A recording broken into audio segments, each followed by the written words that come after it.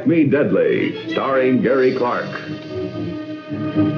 A moving drama set in the great outdoors and introducing Jeannine Riley, that provocative star of television, in her first motion picture, Strike Me Deadly, the story of two young lovers on a summer vacation, lost in a whirl of romance, oblivious to the world around them, until they suddenly face the telescopic sight of a killer's rifle.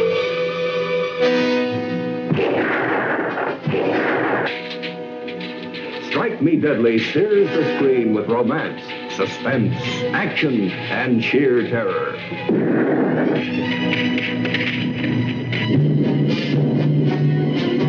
With the raging inferno of a forest fire closing in on them from one side and a relentless killer from the other, they fight desperately for life. Glory! Glory!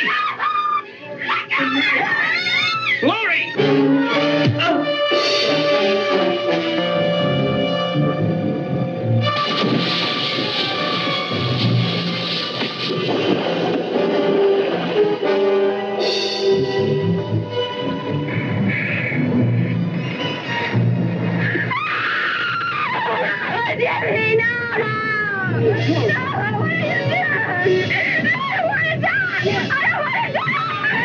Strike Me Deadly, a suspense-packed picture, an experience you won't want to miss.